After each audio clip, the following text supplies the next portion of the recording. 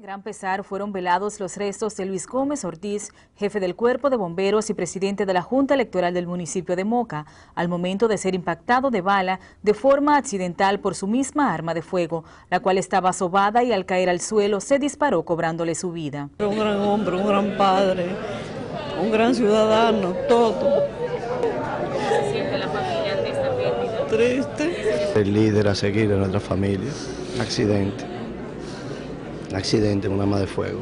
El hecho se registró en su residencia de la urbanización Estela de la ciudad de Moca y ha dejado una ola de lamentaciones, ya que era considerado por familiares y la comunidad en general como un hombre ejemplar que hizo aportes innumerables al municipio. A pesar por esta pérdida que sorpresivamente nos acogió en el día de ayer, una persona que desde las diferentes posiciones públicas que ocupó y que ocupaba, y a través también del contacto personal con la sociedad, se ganó el cariño y el aprecio de todo el pueblo. Un voluntario, desprendido, un gran padre y un gran hermano. Y un gran amigo también. Los familiares indicaron que la víctima acostumbraba portar su arma sobada a fin de contrarrestar rápidamente cualquier acto delincuencial en su contra. Para Página 3, Jenny Acevedo.